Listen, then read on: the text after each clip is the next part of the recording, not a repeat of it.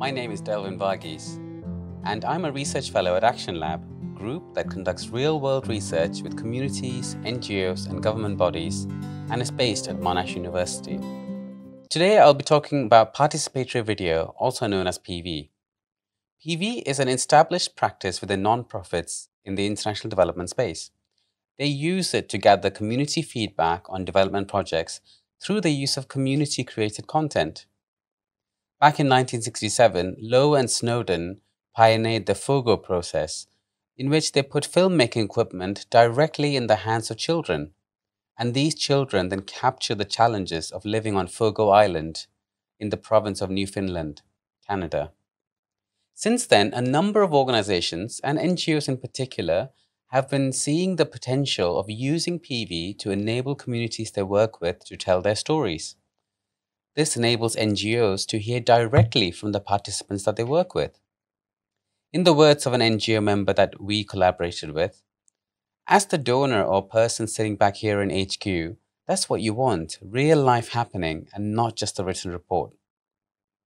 So we see that PV is used by these NGOs to understand the impact of their programs on communities, and especially when they're trying to work with them long term.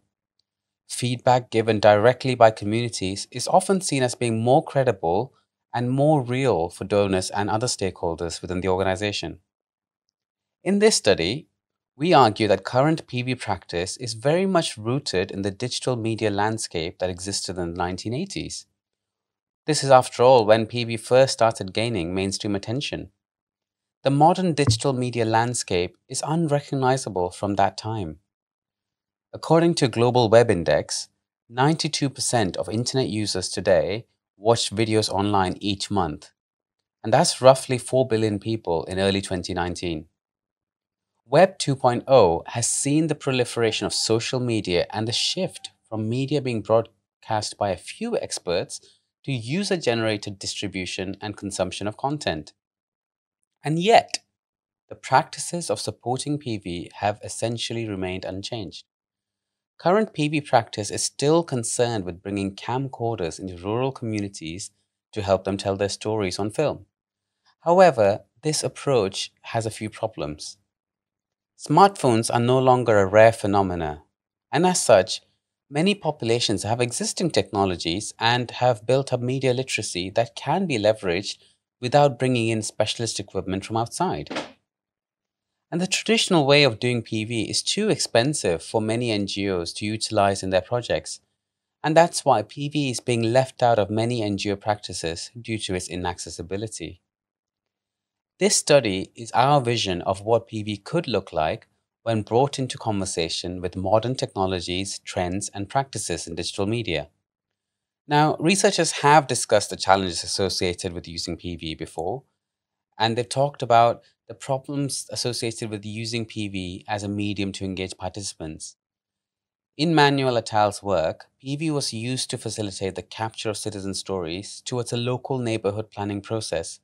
They found that participants used PV to shed light on previously hidden narratives, which highlighted elements that usually get lost behind when participatory processes rush towards a predefined output.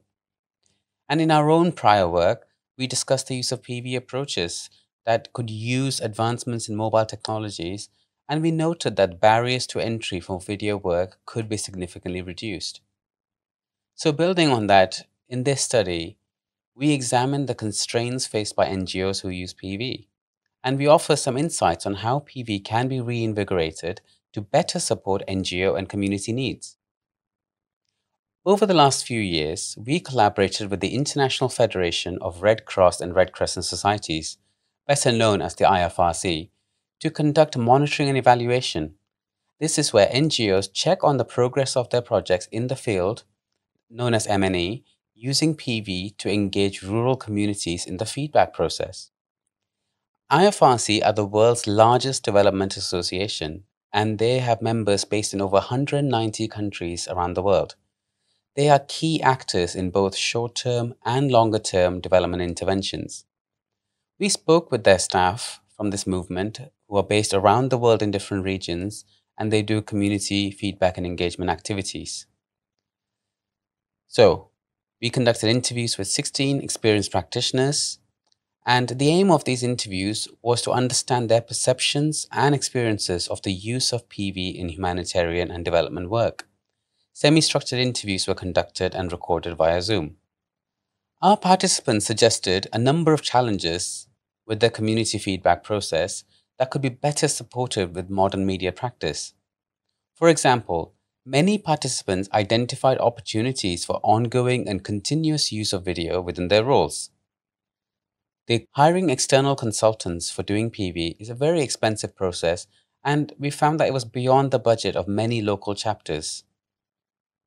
Some said that it cost as much as 100,000 US dollars for some types of projects. Unsurprisingly, many organizations were not able to justify the costly approaches that were involved in doing PV. Another consideration is that communities expect to be partners in the decision making process of development, and they want to be more involved and consulted rather than just being seen as passive recipients. We can argue then that existing PV approaches that are being carried out by external consultants coming in for a short period and producing community video is carried out against the spirit of development ideals. So now that we have taken a look at some characteristics of PV in the field, we're going to look at some modern media practices. We have picked object-based media or OBM as a lens to critique PV practice because it has certain properties that we believe are useful in this conversation. First, it helps remove some workflow assumptions. OBM removes many of the assumptions of traditional linear production workflows which rely on the unidirectional transfer of video content from one process to the next. Also, object-based media considers all content to be equal. Through the application of rich metadata, content is shaped and distributed rather than through destructive processes of cutting and chopping. It's also reconfigurable. Individual elements of video can be repackaged in myriad forms based on any number of factors for example, personal preference, contextual relevance, or the languages required by the viewer or the listener. So we present PV 2.0, a new vision of PV based on these practices, reflecting on the current challenges mentioned in the findings above. The traditional PV pipeline assumes roles such as presenters, producers, editors, and consumers. Yet, there could be tremendous value if these distinctions are removed when working with communities. This is particularly true in the context of reflective or longitudinal use of PV. What if facilitators put more focus on increasing media literacy of the communities they work with? This would enable the community to regularly input and be a valuable resource in generating content for the NGO. And this makes long term community video work feasible for NGOs who currently are not able to do so through expensive short term projects redefining the PV process in terms of reconfigurable objects forces further reflection on the role of the editorial and post-production processes that are normally associated with PV, thus opening new opportunities.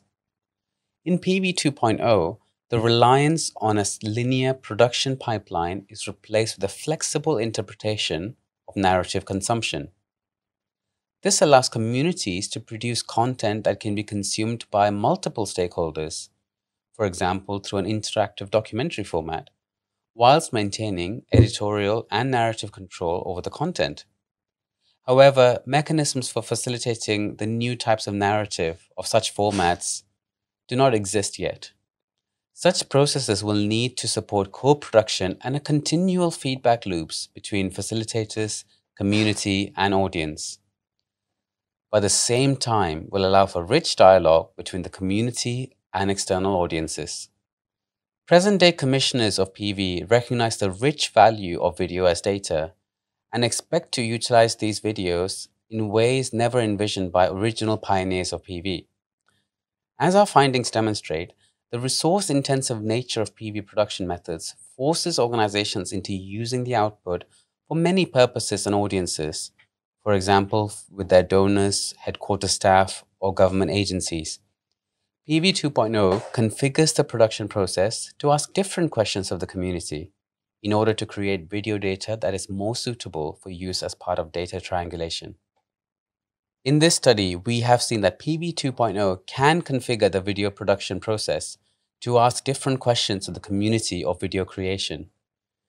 This will allow organizations and communities to work together to produce content that the communities can be in control of and it's more useful to the organization. To conclude, PV needs to adapt to unleash its potential for enabling communities to be more active agents in the development space.